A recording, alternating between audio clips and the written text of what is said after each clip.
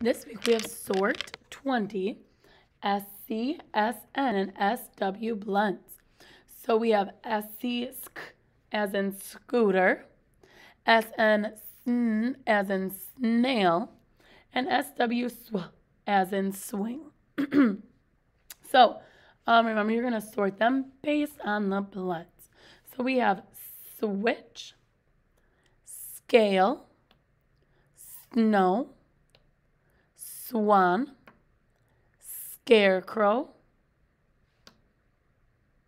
scout, scarf, snake, sweater, swim, school, snap, snail, snowman, and swing.